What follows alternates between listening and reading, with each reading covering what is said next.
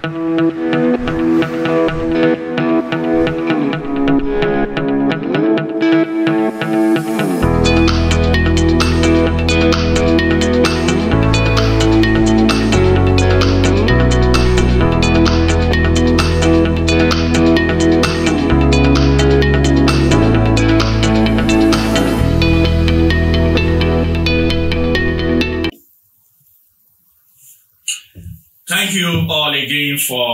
Coming on this program, Harvest Feast. May the Lord bless you. It's really a great sign for us to gather the way we gather every month because I can tell you, God has been so faithful. In our monthly gathering, by the grace of God, we have been moving forward especially in understanding the heart of our Father, where we need to be and what we need to be learning on daily basis as His children, so that we can grow more into the image of our Lord Jesus Christ. Now, today we're going to start the way we normally start, and that is quoting from Matthew chapter 7, verse 7, uh, verse 13 to 14, where the Bible says, enter by the narrow gates. For wide is the gate and broad is the way that leads to destruction. And there are many who go in by it because narrow is the gate and difficult is the way that leads to life. And there are few who find it. I want to be honest with you again, like we do on this program. The word of God is sure forevermore. For you to be on the narrow road that leads to life, you have to be disciplined. That is after you have realized that indeed, when you have come to your senses, that indeed you're a sinner and you have yielded yourself into the hands of the Savior and He has saved you. The narrow road sometimes will be so deserted that I can tell you, God is faithful. He never leaves his children and he never forsakes them. But the way people are trying to interpret Christianity nowadays makes me wonder if very many people are, are actually treading on that narrow road. If you have found the narrow road, I pray you will know where you are and you will know indeed that you are in the right place and you will continue in your journey even by the help of the Holy Spirit. And if you are yet to find that narrow road, I pray tonight, this day, will be the day of your salvation. If you have been on the outside, just doing religion, I want to invite you this day to listen to the word of God and consider your way. And as you do so, I pray God Almighty will meet you Amen. Now, before we go on into today's business per se, let's have a word of prayer. Dear Lord Jesus, we thank you. Father Lord, we bless your holy name for making it possible for us to gather here again this month as your children to learn at your feet. Father, we commit everything that will be said here this day Everything that will be heard by your children, we commit everything to your hand. And we ask, Lord, that you feed us yourself. Teach us your word, King of glory, and let it be glorified unto you. Let the blessings, Father, be ours from now and forevermore. For in Jesus' mighty name we have prayed. Amen. Now, today's time our sermon is titled, Is Grace to Save? the great leveler. The Lord's grace to save the great leveler. And I want you to travel with me on a very interesting journey today because there'll be twists and turns, but I pray that the Holy Spirit will open our hearts to understand this topic so that even as believers, we know our position. And also those who are just trying to come in or those who are still on the outside gate, they will know when they see a believer who a believer is, if they are watching or if they are listening to me. Our reading main text is taken from the book of Matthew, chapter 20, from verse 1 to 16. You can understand that's a very long read for us. But you know what? I've decided to, to read it the way it is written. I have an abridged form of it. I've summarized it, but I, I wasn't so happy with the summary of it. I want it to come straight from the Bible, the way it is written. And it shouldn't, you know, take too much time for us to digest what we have there. Okay, here we go. For the kingdom of heaven is like a landowner who went out early in the morning to hire laborers for his vineyard. Now, when he had agreed with laborers for a denarius a day, he sent them into his vineyard, and he went out the third hour and saw others standing idle in the marketplace, and said to them, You also go into the vineyard, and whatever is right, I will give you. So they went. Again, he went out about the sixth and ninth hour and did like and did likewise. That is bringing in more laborers into his vineyard. And about the eleventh hour, he went out and found others standing idle, and said to them, "Why have you been standing here idle all day?" They said to him, "Because no one hired us." He said to them, you also go into the vineyard, and whatever is right, you will receive. So when evening had come, the owner of the vineyard said to his steward, Call the laborers and give them their wages, beginning with the last to the first. Did you hear that? Beginning with the last set of laborers to the first. And when those and when those came who were hired about the eleventh hour, they each received a denarius. But when the first came, they supposed that they would receive more. And they likewise received each a denarius. And when they had received it, they complained against the landowner, saying, This last man have worked only one hour and you made them equal to us, who have borne the burden and the heat of the day. But he answered one of them and said, Friend, did you not agree with me for a denarius? Take what is yours and go your way. I wish to give to this last man the same as to you. Is it not lawful for me to do what I wish with my own things?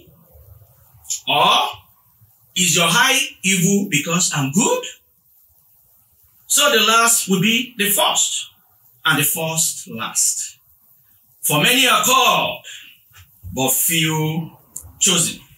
That's reading from Matthew chapter 20 from verse 1 to 16. Now, I want us to understand the background of this.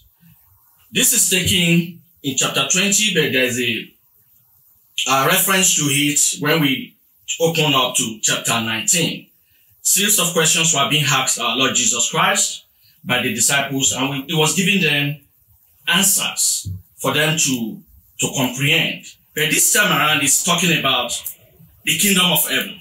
He's trying to let people know what's obtainable in the kingdom of God. It's not what we do here on earth. What the humans do to satisfy themselves or to treat themselves one way or the other, it's not what we obtain when we are talking about the, uh, the kingdom of heaven. So the Lord was kind of letting them understand this, the way it works. Now, the topic we have chosen today, for some, they think is controversial. But if they open their hearts to the word of God, they will understand that the things of the kingdom of God are very deep. And the grace of God is for everyone. God in his mercy has chosen to do it that way. And let me be honest with you, it is the best way that mankind can enjoy God without complaining. But still, people don't understand. But I believe God Almighty, as we go more into this topic today, there will be better understanding. Note that the parable of the workers in this vineyard, we have to notice, uh, we have to note one point, like I said, that the kingdom of heaven is actually a key word. It's not just a general statement. The Lord is referring to what is obtainable in the kingdom. Now, we should know that this parable is not about God's reward system for hard work or lack of hard work.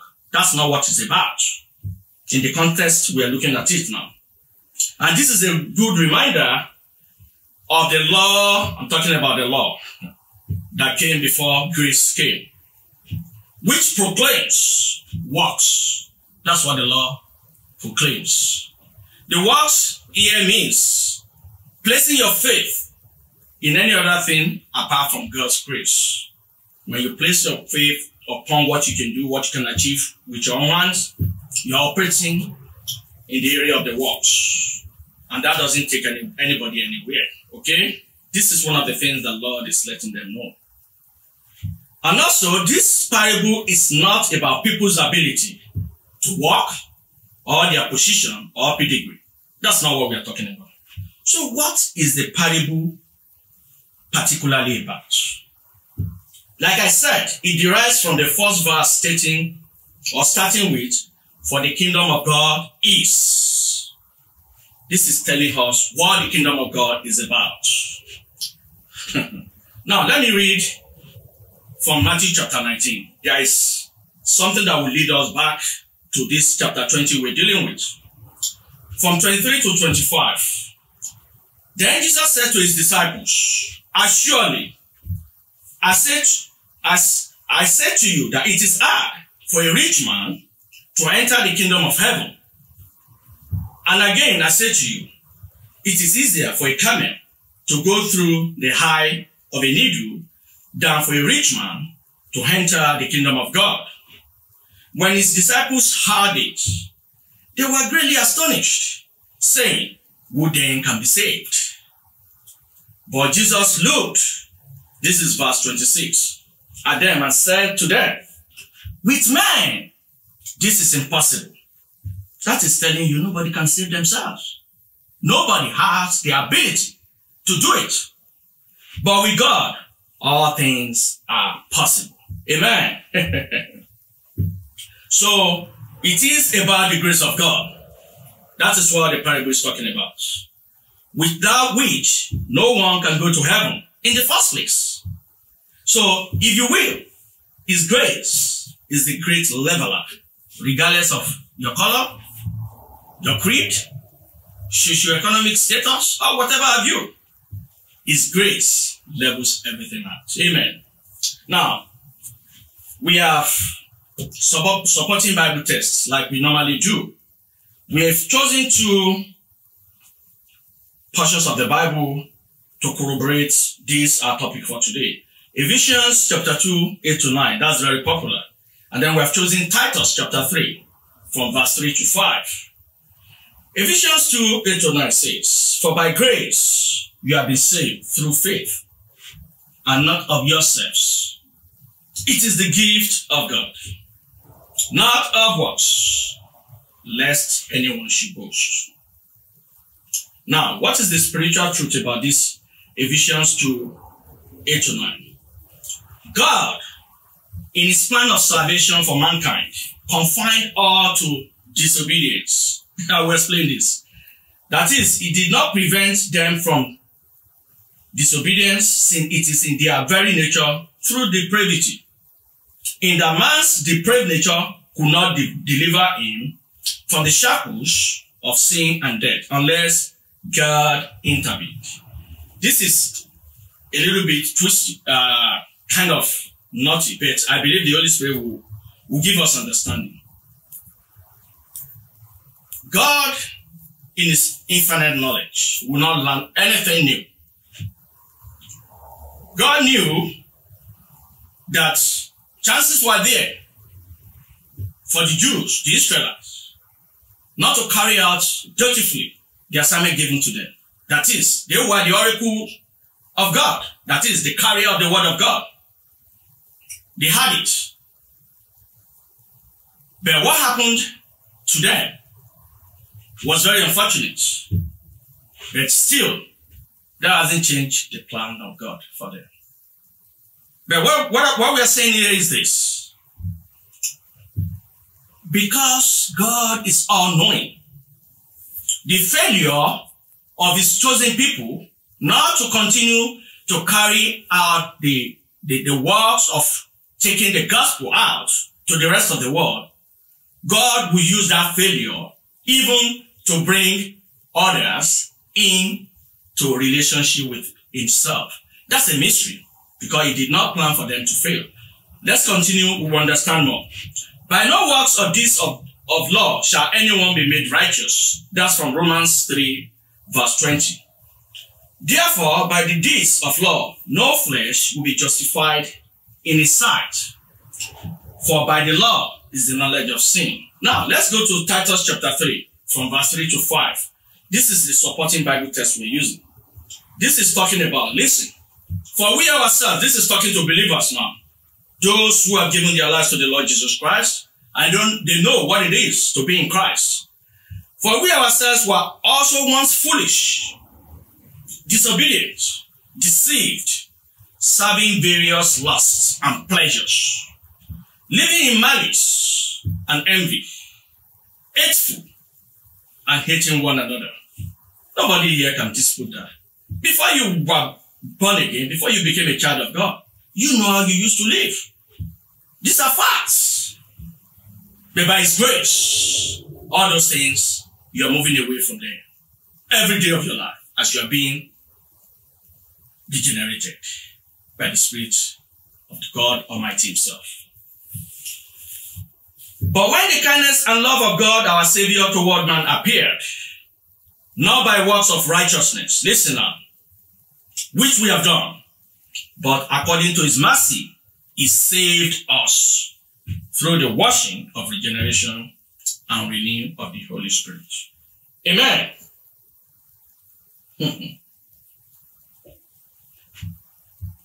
what is the spiritual truth from this uh, Titus chapter 3, 3 to 5? Here is the truth.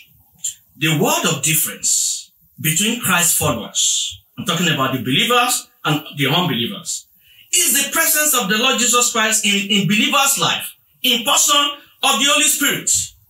The Holy Spirit that was given as a gift when you receive the Lord into your life. That is the word of difference that we have. That is the word of difference. Nothing else you want to talk, talk about. It is the presence of the Holy Spirit. By you choosing to go with the Savior. God's love and saving power, hmm, they are a mystery beyond human comprehension or understanding. For no man deserves being saved for the provision God made, but for the provision God made through his only son, that whoever comes through his plan of salvation may be saved. Nobody will have experienced being saved if God had not done what he did. So for believers, we need to reflect on this all the time so that we can live as we ought to live. Amen. Now, that said, I want us to go a bit deeper. That's why I said we're going to have some twists and turns. But I believe the Holy Spirit will bring everything together for us. We're still going to stay in the book of Romans, chapter 11. 28 to 33 this time.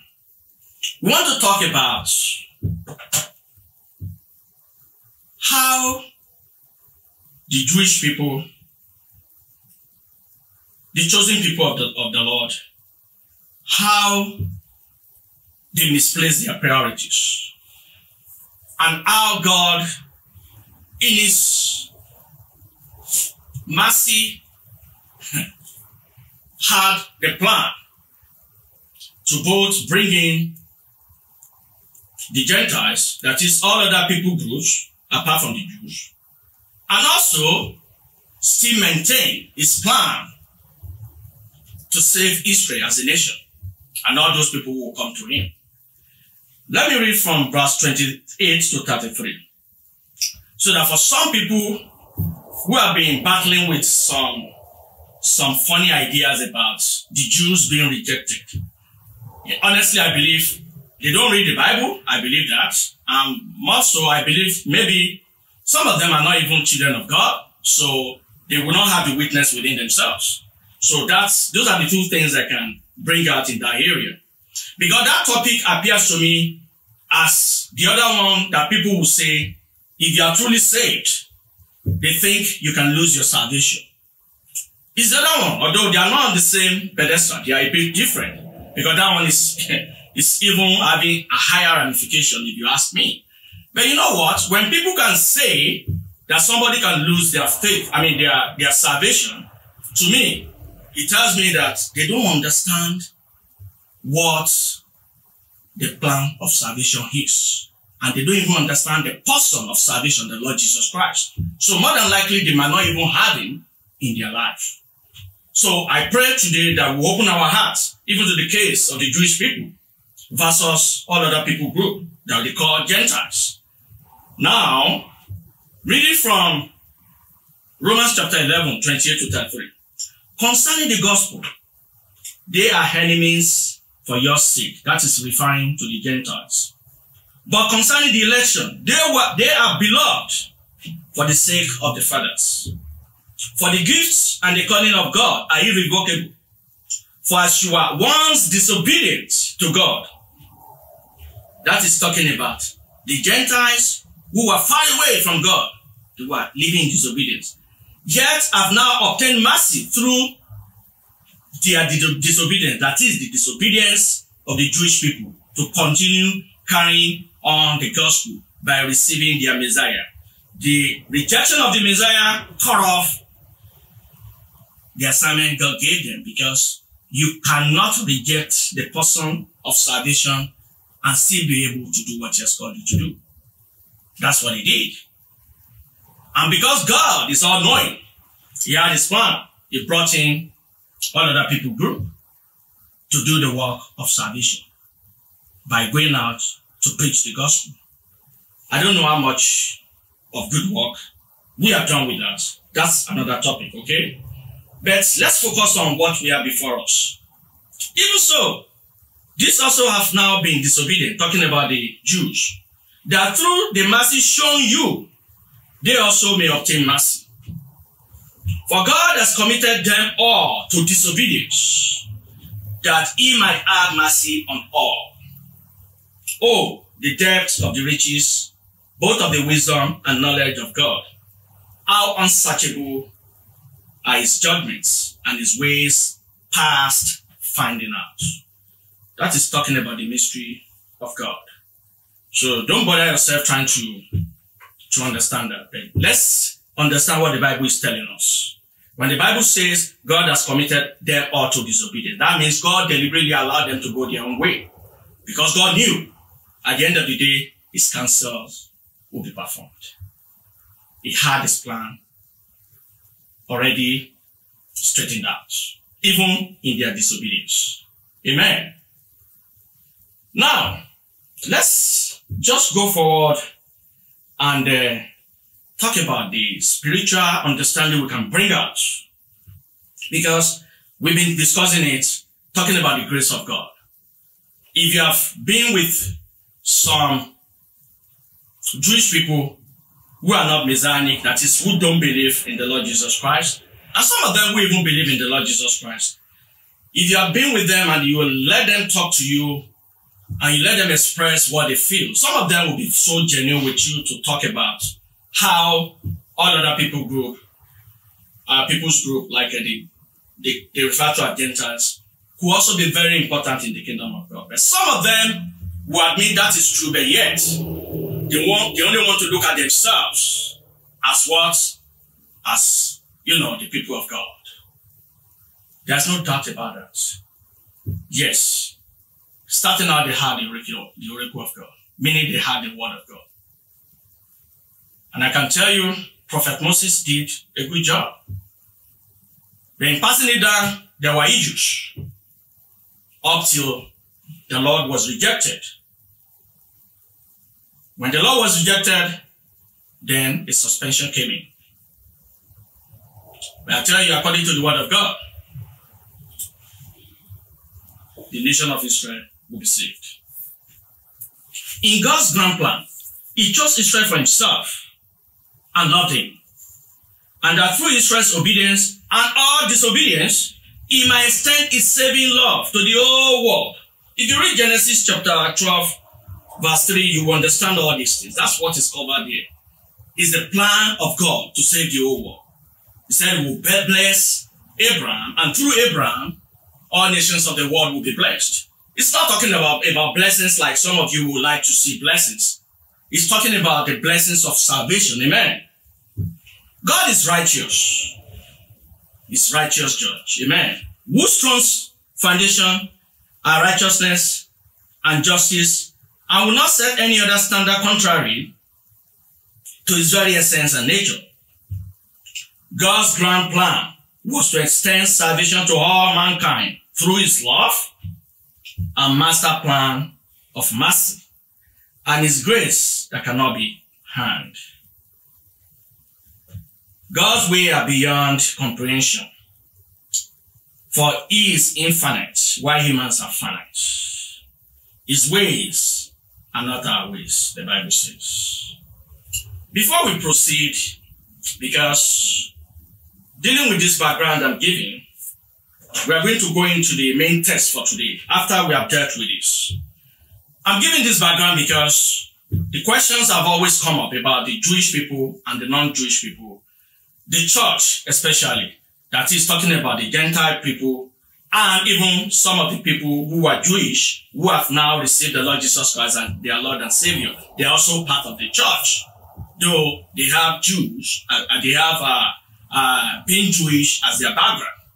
So when people are talking about this, do you know the same thing that they are accusing the Jews of by saying they are trying to to kind of have a what's the word now?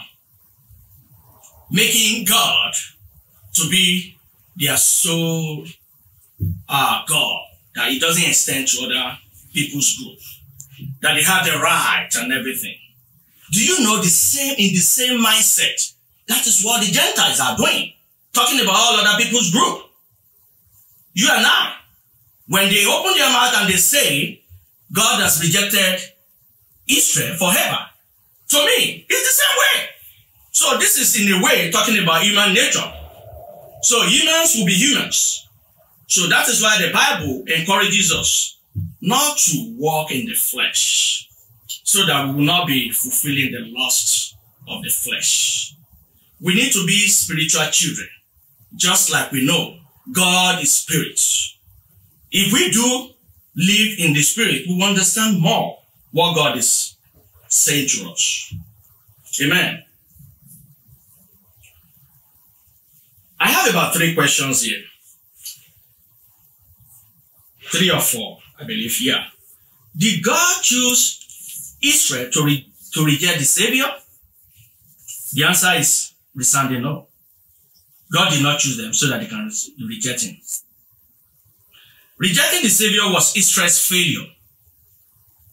It had negative implications, but will not change God's plan. For God is faithful. Amen. Why then does the Bible say Israel's rejection of our Messiah is a blessing to the Gentiles. I already said that before. In the, in the plan of God, God has seen everything from A to Z. God, from the word go, knew all the scenarios. He did not plan anybody or anything for failure. But if this should happen as a result of what we eventually come up, God already knew what would be the next step of action to take. Or those actions themselves will be triggered because you are talking about God Almighty. So God had everything planned out because nobody can surprise him. And sometimes that's why we are tripped because when we see his response, we are like, ah, how is that possible? We are talking about God Almighty. Did God graft in the Gentiles to replace the Jews? The answer is no, for the Bible spells it out clearly that the overall plan of God for Israel to be saved remains intact. Amen. Let me read Romans 11, 25 to 26. For I do not desire, brethren, this Apostle Paul speaking, that you should be ignorant of this mystery, lest you should be wise in your own opinion. Hmm. That blindness in part has happened to Israel until the fullness of the Gentiles has come in. And so all Israel will be saved. Is that difficult to understand? As it is written, the deliverer will come out of Zion and he will turn away ungodliness from Jacob. That's from Romans chapter 11, 25 to 26. So if you are seeing that, check out your Bible and read for comprehension by asking the Holy Spirit to, to impact you. Then you understand clearly what the Word of God is saying. Did God make a case for the Jews to feel superior to Gentiles by being referred to as the one that has the oracle of God? When you talk about the oracle of God, you are referring to the Word of God. And no, make no mistakes. God gave his word starting out to the Jews. Okay? The plan of salvation started with the blessing God pronounced over Father Abraham. So who is going to dispute that? He was the first uh, Jew or Hebrew to cross over. So uh, is anybody going to dispute that? That is the truth. But that doesn't mean God was saying they were or they are superior in any sense. It is a responsibility. It is a responsibility. And unfortunately, even those responsibilities along the line were not fulfilled. But God is still very faithful.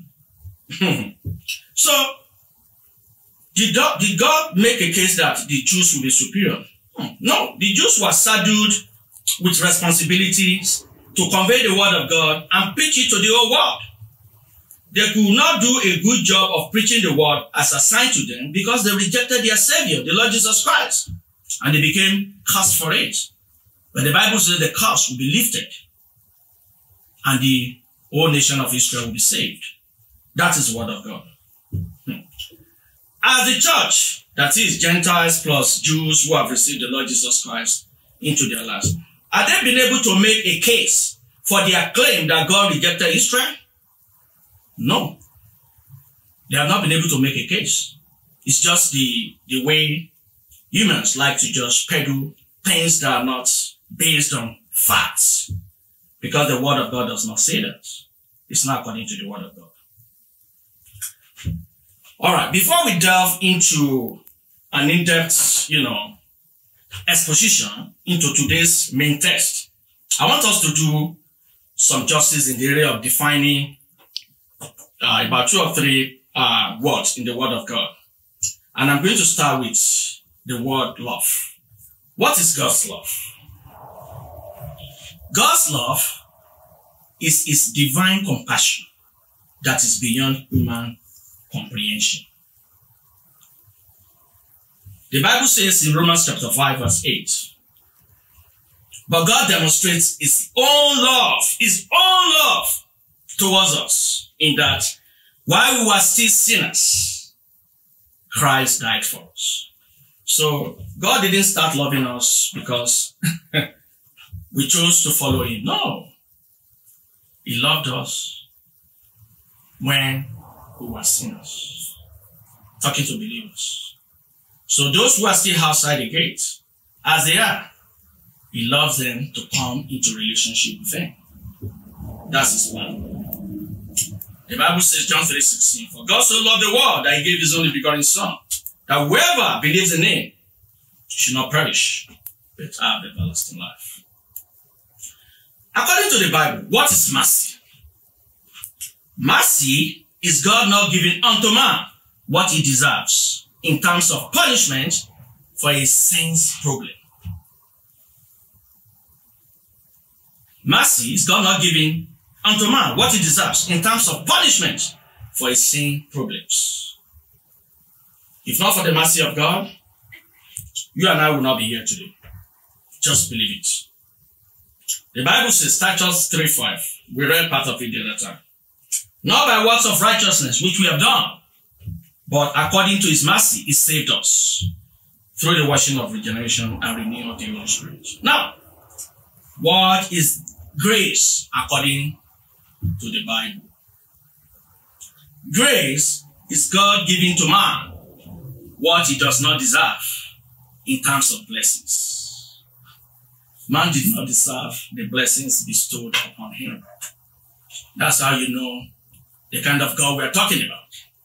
Genesis 12, 3, the Bible says, talking to God talking to Father Abraham. I will bless those who bless you, and I will curse him who curses you. And in you, all the families of the earth shall be blessed. So God had a plan of blessings for man that was wallowing in his sin. The blessing was to save him and deliver him from his sin, from the power of sin and death. And he did that once and for all by sending his only begotten son. And he says, Whosoever shall believe in him shall follow that path, his plan of salvation. Such a person will be saved. That's what we are talking about. That's the word of God.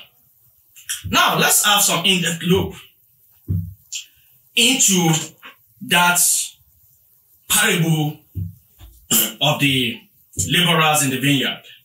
Let's have some in-depth, in-depth look. Uh, I'm going to talk about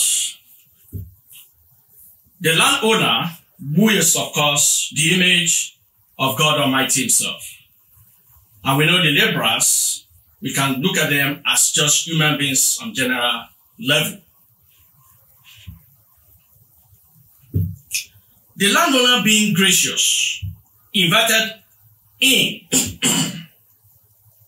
invited all to enter into fruitful work, regardless of their status. Their status we are talking about here is regardless of the time they made themselves available. He opened the door for them to go into the vineyard and be productive. The landowner did not take into consideration the hours worked or the conditions under which the work was performed or the order in which the laborers were hired for he gave them all equal wages. This is talking about his grace for all to come in. So we are not talking about being hard work, uh, uh, hard working here. We are talking about the grace of the landowner to bring people in to work in the vineyard. Now that's why we say the reward system is different. The Lord knows about the reward system. He knows how he's going to reward each and every one of us. But he's not talking about the reward system now. He's talking about his grace to open the door for her to come in. Amen. The landowner's decision to give equal wages was his prerogative as he had his wealth and had the right to disperse as he was pleased. Hello? I don't think anybody should dispute that with the landowner, okay? The landowner made it expressly clear that he reserved the right to himself who he will consider first based on his own judgment and not what the laborers taught. When he said, the last set of the laborers should be given their wages first. And the first set will be given later. That is talking about the Gentiles that are grafted in later, they will see the Savior first. And talking about the, the Holy Israel will be saved later. But for information, we will all be saved. Amen. That is the word of God. Hmm.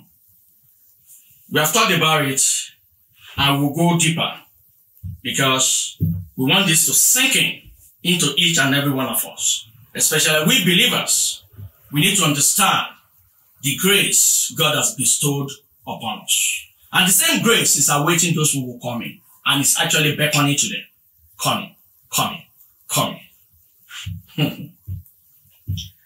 The landowner was the image of the gracious God who opened equal access. We said that the other time.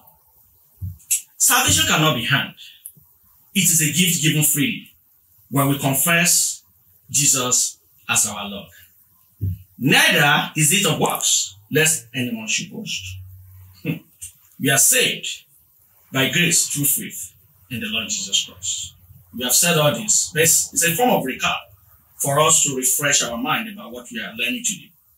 The saving grace of Jesus Christ, having been extended to the Jew first, was also made available to others because it is the same Lord over all that is rich towards all that will call upon his name.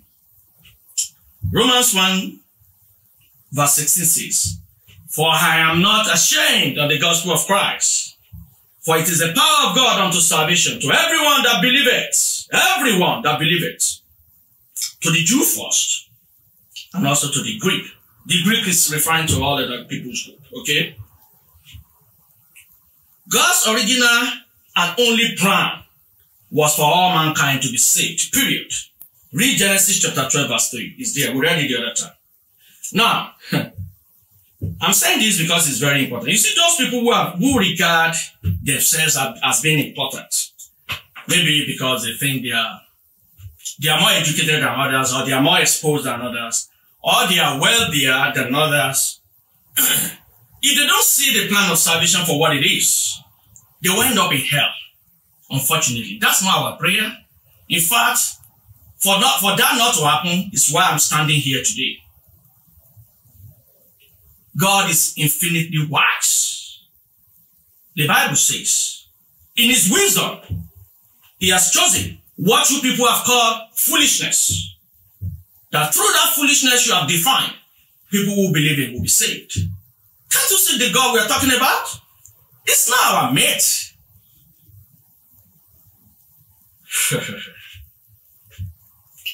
now, let me talk of some personal applications to believers because this is very important because I've had so many believers who will just uh, want to try to avoid that area. this lesson is beyond talking about uh, one nation of Israel and all other nations. Actually, we should examine ourselves. Each time we feel that we go out to preach to people, maybe we've been in the Lord for several years, being faithful. And then somebody on his deathbed, on his deathbed, by the grace of God, we're able to lead such a person to Christ. And that person, you know, because that person genuinely confessed the Lord Jesus Christ, you know that person will, will be in heaven with you. Do you know sometimes some believers will ask the question, so I've been here doing this work all these years. And this person, like the thief on the on the cross with the Lord Jesus Christ. But you have to know, God is a faithful God. The privilege for you to even serve Him, you need to recognize that. Do you know, going back to that uh, parable, that's one thing that the example of those laborers that were hired earlier on didn't really realize. They didn't realize the privilege to work with the Savior. Looking at that example. Because in addition to that, the Bible says, God is not unjust that he will forget our labor of love. All the ministering you have done, God will reward you. he has his reward system intact for everyone. And that is not saying that those people that are being saved may be close, very close to the time they will go to meet with the Lord. That doesn't mean they will not have reward. That's not what I'm saying because it depends on the situation of individuals. God knows. so I don't dwell in areas like areas like that. I'm just explaining that if you have been serving faithfully, I don't want you to think that God is unjust, for God is not unjust. Amen. he is not unjust. He will do that which he alone can do, and everyone will know that indeed the Lord Jesus is Lord even to the glory of God the Father. All right. Admonition to believers. This we do to encourage ourselves to know that indeed we have been called into service. We are not to go about gloating because we are Christians. We are not to go about feeling more important when we are supposed to be feeling pressured to go and do what he has called us to do. That's what I see most of the times. Reading from Romans chapter 9, from verse 14 to 16. Apostle Paul, by the Spirit of God, was saying to the Christians in Rome, What shall we say then? Is there righteousness with God? Certainly not. For he says to Moses, I will have mercy on whomever I will have mercy. And I will have compassion on whomever I will have compassion. So then, it is not of him who wills, nor of him who runs, but of God who shows mercy. Amen. So, brethren, as recipients of his mercy, let's go and live for him. As recipients of his grace, let's go and live for him. By saying this with Paul the Apostle. I'll quote from uh, Galatians chapter 2, 19 to 20. Let's say this with Paul the Apostle. For I, through the law, died to the law, that I might live to God. Let's say that together. I've been crucified with Christ. It is no longer I who live, but Christ lives in me. And the life which I now live in the flesh, I live by faith in the Son of God, who loved me and gave himself for me. If you have said that as a child of God, please let's go and do what He has called us to do. Amen. Now, to unbelievers, I know by the grace of God, I've made this sermon so, so clear to the best of my understanding. So that will have opened up your heart to know that the hands of God are open to receive you. So no hindrance, no complaint, because the plane is level. God has opened the door for all to come. Decision is yours. Hmm. And I can tell you, according to the word of God, life as it were has been designed purposely to fail everybody who refuses the love of God to be saved. That's the truth, according to the word of God. If you die without the Lord Jesus Christ, that means your name is not written in the Lamb Book of Life. Also, your name has been removed from the Book of the Living, that is, the original Book of Life for everyone born alive. That means you never made life or had any prosperity regardless of your status while on. You'll be sent to hell, a burning detention cell, before you are sentenced to eternal damnation in the lake of fire at the great white throne judgment. That is not my prayer for you. And that is in fact not God's plan for you. Amen. God did not plan this for anybody. It was designed for Satan and his demons. Everyone makes decision to go there or not. I hope you will make that decision not to go there today. The choice is yours. And I pray you will choose wisely. I'm going to read from Romans chapter 10, from 9 to 13. It's a kind of a summary for our today's topic. That the Lord, through his mercy and grace, has opened the door for all to come. We call this the era of grace. And I pray everyone under the sound of my voice today will open their hearts to understand. If you are yet to be a child of God, make today the day of your salvation. The Bible says that if you confess with your mouth the Lord Jesus Christ and believe in your heart that God has raised him from the dead, you will be saved. For with heart one believes unto righteousness, and with your mouth confession is made unto salvation. For the scripture says, whoever believes in him will not be put to shame. That's the word of God. Hmm. For there is no distinction between Jew and Greek. That is telling you God does not discriminate about who will come to him. Regardless of whatever you have been taught before, God is open to all to come. Amen. For the same Lord over all is rich to all who will call upon his name. For whoever calls on the name of the Lord shall be saved. Hallelujah. That's the word of God to you.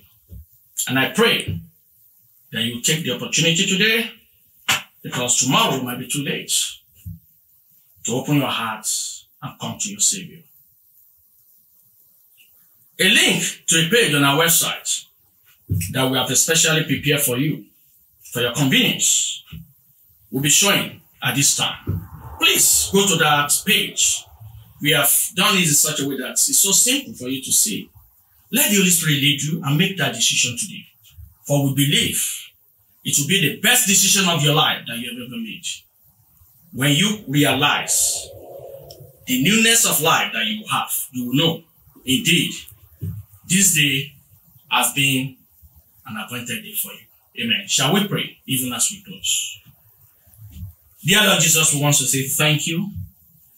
We thank you for your love. we thank you, Lord, for your mercy. We thank you for your grace to save. That no one has been discriminated against. You have opened the door unto all to come in. Thank you for those of us that you have received now. And thank you for those who are coming in. Father, I pray that all those who have watched this message or who have listened to it, I pray, Lord, that you allow the word they have heard or, or, or, or, or received today to mix, to mix with faith in their hearts. That they will consider making the right decision by the light that you have shown them today. Let it be, Lord, that all these ones will become your children indeed, in the mighty name of Jesus, that they will know your grace that you have released over all is sufficient for everyone to take advantage of and to live for you and to live with you eternally. For in Jesus' mighty name we have prayed. Amen and amen. And until next time, I will see you again on this program. Remain blessed.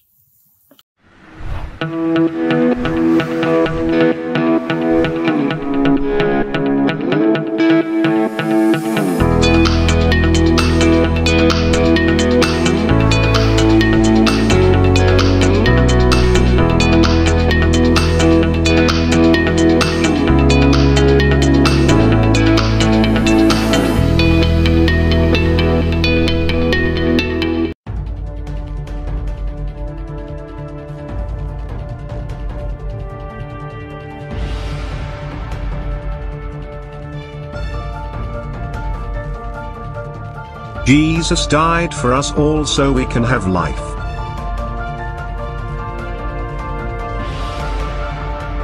Come to him and receive life, believe on him and thirst no more.